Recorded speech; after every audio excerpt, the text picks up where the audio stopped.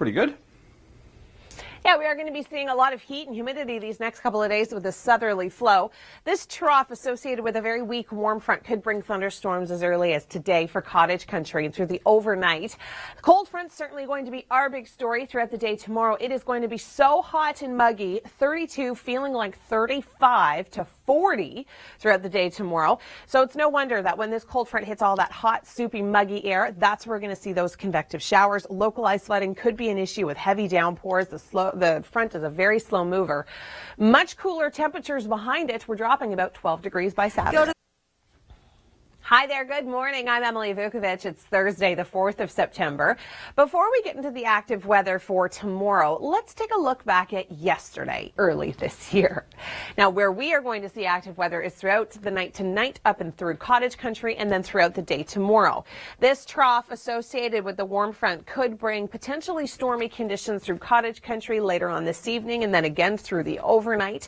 Uh, tomorrow throughout the day, this cold front is going to be a big story for us. It is going to be incredibly muggy. We're talking temperatures into the low 30s, feeling more like the low 40s when you factor in the humidity. Tomorrow could very well be the hottest day of the year for the GTA and a lot of southern Ontario. Now, once this cold front hits all of that warm, muggy, soupy air, that's our best chance to see some convective showers, and we could see some severe thunderstorms firing up. Biggest threat with this cold front is going to be heavy rain, so we could see some localized flooding, uh, potential for some small-sized and fairly gusty conditions. Interesting story behind this cold front, temperatures are going to be dropping dramatically for Saturday. We're talking 32 degrees for Friday and then only a daytime high of 21 for Saturday. But we clear up by Sunday and we'll be back to high pressure in seasonal values. Here's Tom now with an update on your commute. Not bad. It is going to be really hot, really sticky for the next couple of days. We've got this southerly flow and a system approaching, so we're going to be sitting right into that warm sector. Now, we are going to see the risk of isolated thunderstorms tonight and into tomorrow morning for cottage country. And then by tomorrow afternoon, evening, this is going to really be our big story. We've got that cold front approaching. Once it hits all of that warm, soupy, muggy air, that's where we have the chance to see some potentially severe thunderstorms. The biggest threat with these storms is going to be heavy downpours, some small hail, local localized flooding could certainly be an issue and fairly gusty winds. Now, behind this cold front, temperatures are going to change dramatically. We're looking at a daytime high on Friday of like 32 degrees for the city of Toronto, but feeling closer to 40. By Saturday, behind this cold front, temperatures drop significantly. We're talking down to 21, feeling like 24. And then for the remainder of the weekend, we're looking at seasonal values and lots of sunshine getting us into next week. This weather sec.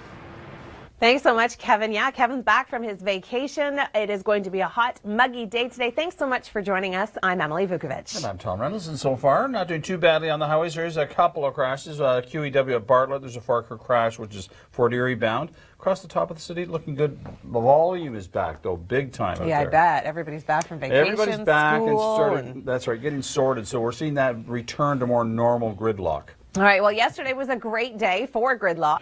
Now, tomorrow could potentially be the hottest day of the year. I will talk temperatures in just a few moments, but first, Tom, what's going on with that accident? Hot, humid, and muggy. We are going to be seeing temperatures today in the high 20s, feeling more like the mid 30s when you factor in the humidity. Slight risk of isolated thunderstorms tonight along this trough through cottage country. And then tomorrow, the cold front is going to be a big story for us. This is where we could see some active weather. We've got temperatures into the low 30s, feeling more like the low 40s when you factor in the humidity. Now, of course, when that sharp cold front hits all of that warm, muggy, soupy air, that's where we're going to see the best chance for some convective showers. So stretching from Montreal right down to Windsor, there is a chance for severe thunderstorms.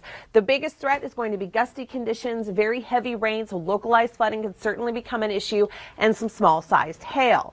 Now behind this cold front, a dramatic drop in temperatures. We're going to go from 32 degrees tomorrow to only 21 for Saturday. So seasonal for Saturday and Sunday, and it looks as though we are going to be some sun- seeing some sunshine getting us into next week.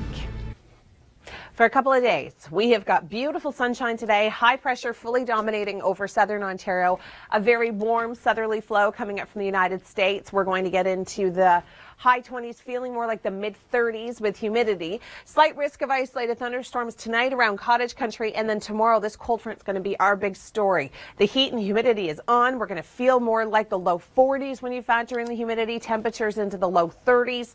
And when that sharp cold front hits all of that warm, muggy, soupy air, that is where we're going to see that risk of convective showers, possibly severe thunderstorms with some small hail, heavy downpours, localized flooding could certainly be an issue. Now, behind this cold front, much cooler air mass with that northerly wind, high pressure coming into place. So we are going to be seeing lots of sunshine for Saturday and Sunday, but temperatures certainly a lot cooler. 21 degrees for Saturday. Harry. All right, thanks. Mary. Thank, thank you very much, Kevin. Thank you. Is that what you're trying to say? That's what I was it trying just, to Sometimes say. it just doesn't happen. I was thinking about the heat and the humidity and how warm it's going to get tomorrow. And it all came out just in one word. It really did. That's right. today is going to be very hot and sticky. So if you love the heat, today is the day for you. If you don't love the heat, try and find yourself some air conditioning today. It's nice that it's nice that summer finally arrived. Isn't it? In, In September, September? beauty. Yeah. Today we're going to hit 29, feel like 35, and then and then tomorrow morning the heat is on. By 10 a.m. it's going to feel closer to the low 30s. By the afternoon, low 40s. Talk about the active weather on the way, but first here's Tom. It does. It is hot and sticky until then. We'll get to all those details in a moment. We've got this nice warm southerly flow giving us a really hot, muggy day today, feeling closer to the mid 30s.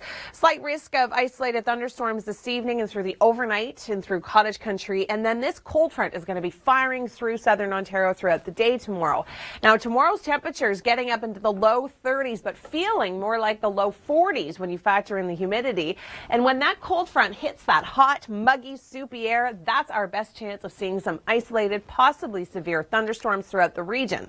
Now, behind this cold front, we are going to see a dramatic cool down in temperatures. We are going to see our temperatures go from about 32 degrees on Friday to 21 for Saturday. But high pressure returns, which means lots of sunshine throughout the GTA right into the beginning of next week. So we've got 32, feeling like 40 tomorrow, Saturday 21, feeling like 24, which is seasonal. And then the seasonal values continue right until the end of the week. And then we'll even get a little bit of a warm up. Well, they are not very good. No? No, we got a Oh. crash on the southbound 410. A lady's bumped her head there, ambulance, everybody on the scene. Uh-oh. Uh, so that's got things messed up on the southbound 410. All right, well, conditions, as Kevin was mentioning, they're beautiful right now. We've got lots of sunshine in the forecast for today. It is going to be so hot. In fact, tomorrow could be it? How hot is it? tomorrow could be the hottest day of the year. Beautiful. Yeah, I know. And you know what? The West has been stealing all of our heat. Yes. Whistler, believe it or not, has had 17 days above 30 degrees. Guess how many we've had? How many? Six. So you know what we sent them yesterday? What? Do, we have the picture, John? Can we Do, show it? do we have snow and Banff? Do we have it? I don't know if we can get it right away. But anyway, we sent them snow. Yeah, we sent them snow, and here's a webcam. Rain snow mix. Just saying it. Just throwing it out there. But we're not. We're going to be lovely here. We're not. It's all good. We're so mean. I know. All right, well, we are going to cool down, but not yet. We do have some active weather on the way. I'm going to get into that in just a moment. But first, Tom, give us an update on what's happening with that crash. And it's hot. We've got temperatures getting up to the high 20s, feeling like the mid 30s today. Trough could bring in a few isolated thunderstorms through cottage country. Cold front is going to be our big story tomorrow. Temperatures for us getting up into the low 30s, feeling more like the low 40s when you factor in humidity. We've got that sharp cold front hitting all of that warm, soupy, muggy air. That could give us some severe thunderstorms, including hail, strong winds, heavy downpours. Localized flooding could certainly be an issue. This is going to affect maybe your later commute home. Anytime after 4 o'clock is where we're really going to start to see those convective showers. Now, behind this cold front, temperatures drop dramatically. We've got a lot of cold air coming from across the prairies. Remember that snow I was just talking about? We're not going to see that, but temperatures are going to drop dramatically. We're going from 32 tomorrow to 21 on Saturday. All right, thanks so much. That's Kevin Yard. He's in Barrie, Ontario. Thank you for joining us here this morning on the Weather Network. I'm Emily Vukovic. And I'm Tom Reynolds, and uh, we've got a few problems out there. One out in Kitchener, we've got another one in the 410, so uh, a little busy on the highways, and of course, everyone is back. So we're Yeah. seeing humongous volume just about everywhere. Well, for schools that don't have air conditioning, I had air conditioning. I, know, I, think, I think my son has air conditioning Yeah. at his school. It's Uh, a new school. They certainly need it today. Uh, 29, feeling like 30. 25 when you factor in the humidity. And if you think that's hot, tomorrow's going to be even hotter, Tom. It could be our hottest day of the year. Some explain that in detail coming up in just a few moments. But first, here's Tom with traffic. Well, we've got that warm southerly flow today and into tomorrow, so temperature is hot. We're looking at 20, high 20s, feeling like mid 30s today. And then tomorrow, we're actually going to be at the low 30s, feeling like the low 40s with the humidity. Now, we could see some active weather tonight and tomorrow morning through cottage country, but this cold front, that's going to be our big story. When we've got temperatures and humidex values the way we are going to tomorrow, once that sharp cold front hits that, that is where we're going to see the chance of severe thunderstorms firing up. The potential for some hail, some heavy downpours, fairly gusty conditions, localized flooding could certainly be an issue. This is all set to start after 4 o'clock tomorrow afternoon, so daytime heating, again, could certainly contribute to severity of these storms. Behind that, a much cooler, drier air mass on Saturday, only getting up to 21. It worked, Tom and Emily. All right, thanks so much, Kevin. We're going to check in with Tom in just a few moments. Uh, we do have temperatures that are going to be incredibly warm today. We're looking at high 20s, feeling like the mid 30s. The heat is on. Can actually be the hottest day of the year. We'll talk more about that coming up and the active weather that's on the way. But first, Tom, what's going on on the roads? Well, it is certainly going to be hot and muggy today and into tomorrow. Today, upper 20s, feeling like the mid 30s. We could see some active weather along this trough through cottage country. But the big story is going to move in through the GTA tomorrow, late afternoon, when this cold front hits all that warm, muggy, soupy air. Tomorrow, like I was mentioning, could be the hottest day of the year. Temperatures getting up into the low 30s, but feeling more like the low 40s when you factor in the humidity. Once that cold front hits all of that warm, muggy, soupy air, that's where we could see those convective showers firing up. Small sized hail, fairly gusty conditions, heavy rain, localized flooding could certainly be an issue. Now, once this cold front passes through, we've got a much cooler, drier air mass building in. Temperatures are going to be dramatically different. We're talking like almost cutting them in half if you look at the humidity. Feeling like 40 tomorrow, feeling like 24. So seasonal values for the weekend throughout the GTA. Thanks, Tom. It is going to be so hot and muggy throughout the day today. Temperatures getting up into the high 20s, feeling more like the mid 30s. Trough's going to move through cottage country by tonight. We could see some stormy weather, and then the cold front is going to be our big story tomorrow afternoon, late day. So we're talking anytime after 4 o'clock is where we could see this very sharp cold front hit a lot of warm, muggy, soupy air. We're actually going to get up into the low 30s, but feel more like the low 40s when you factor in the humidity, and that is when we could see these convective showers fire up. Yes, these thunderstorms could be severe in nature. Behind these thunderstorms, we are going to see a dramatic drop in temperatures by Saturday, only getting up to 21 degrees. Around the world in 80 seconds. Thanks, Kim. I'm Emily Vukovic. It's Thursday. It's the 4th of September, and it is a beautiful day to be out on the water, and that is exactly where we join Kevin Yard in beautiful Barrie, Ontario. Good morning, Kevin. Studio. No sharks, though. Thanks, Kevin. We'll get out there and enjoy today because this is our story for tomorrow. That cold front is going to move closer to the GTA by tomorrow afternoon and give us the chance for isolated thunderstorms. It is going to be so muggy tomorrow. It is going to feel like the low 40s with temperatures into the low 30s. Once that cold front passes through, a dramatic drop in temperatures by Saturday. We're only looking at a daytime high of 21. Head to our website for more on our top five videos.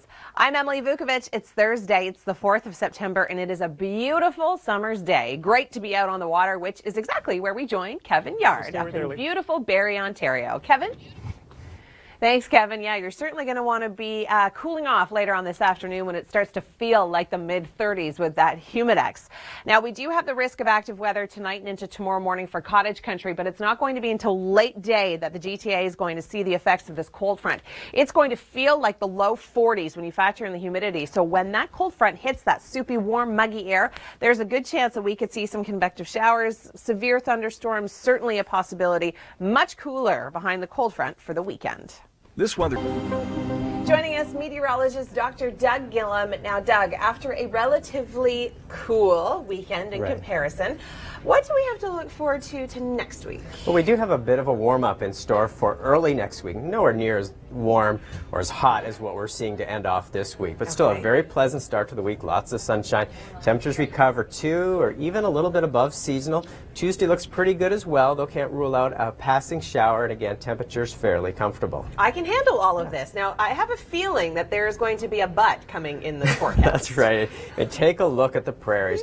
Temperatures well below seasonal. A Four hint, for Calgary. a hint of late fall, and eventually this air mass, fortunately in greatly modified form, Mm-hmm. will be making its way into southern Ontario for the end of the week and into the weekend. Whoa, okay, wait a second. Now the prairies in their forecast, I am just going to throw it out there. They could see some snow Right, next that's, week. that's right. That's what you're talking about about our modified version. We're not Right, no snow. No snow in our forecast. Now, Okay. during the transition, we do have the likelihood of some unsettled weather. The timing of that, whether it's Wednesday into Thursday and Friday, still some uncertainty. Okay. But we are confident that by the end of the week, temperatures Friday into Saturday considerably cooler, not as cold as what we're seeing on the prairies, but this is not a permanent change. Good. The month of September as a whole, still alternating periods of warm and cool. Overall, the warm should slightly win out.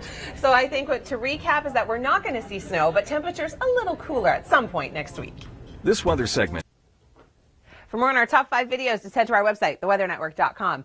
Thanks for joining us on this Thursday. I'm Emily Vukovic. It is September the 4th, and it is a beautiful summer's day. Kevin Yard joins us in Barrie, Ontario. And Kevin, what are you up to? So far, you've been fishing, and now you are. All right, thanks so much, Kevin. Having a great time in Barrie, Ontario. Today is going to be very hot and sticky. We've got temperatures getting up to 29 for so muggy, and then tomorrow even hotter. We've got temperatures getting up into the low 30s, feeling more like the low 40s. So it is no wonder that when this cold front hits us tomorrow late day, this could affect your commute home.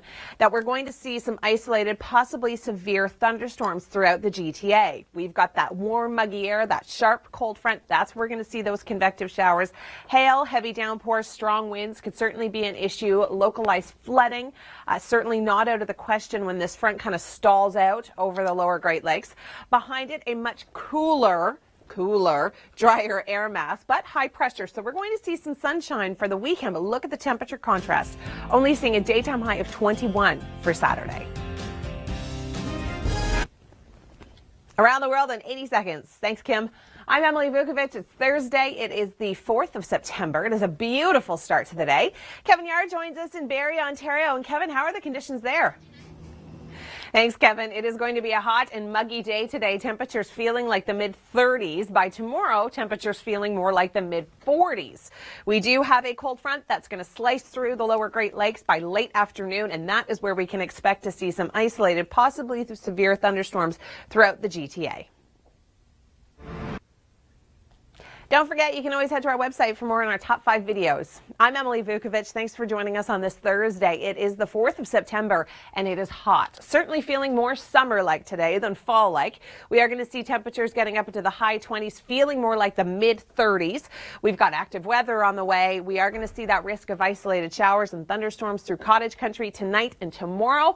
That cold front is going to be our story. It is going to be so hot and muggy tomorrow. Could be potentially the hottest day of the year. We're looking at temperatures into the low 30s, but feeling more like the low 40s. And when that sharp cold front hits all of that muggy, soupy air, that's where we could see some severe thunderstorms rolling through. So hail could be a threat, gusty conditions, and heavy downpours. Behind this cold front, however, temperatures are going to drop dramatically on Saturday, a high of 21. Remind us that it's a coming. Thanks so much for joining me. I'm Chrissy Van.